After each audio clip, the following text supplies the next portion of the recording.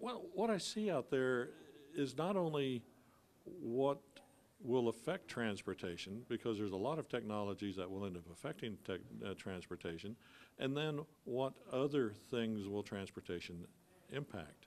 For example, with the ability to do uh, virtualization, in other words, uh, uh, video conferencing where I actually feel like I'm in the room with you, just like we're here, will eliminate the need for me to go to work every day.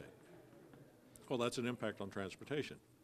Uh, because I will have the technology that allows me to uh, have autonomous cars, for example, means that I don't have to worry about driving and I don't have to worry about accidents because each car will work with each the other cars to make things happen. And and so then you begin to talk about uh, a lot of work we're doing in control theory where we can now create relatively small uh, personal transportation vehicles.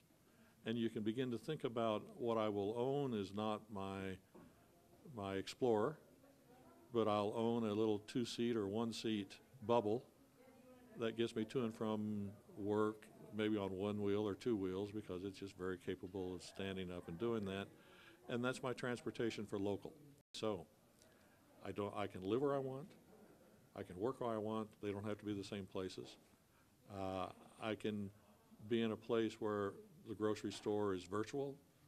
Uh, I can live in a place where I don't really need transportation except for the once or twice a month to go to work. Vacation, maybe a rental car. You, you just start looking at what might be and say, hmm, that's fun. Let's talk further. And, and that's really the purpose of this talk is to get us thinking not what I want to present, but thinking beyond what I'm presenting.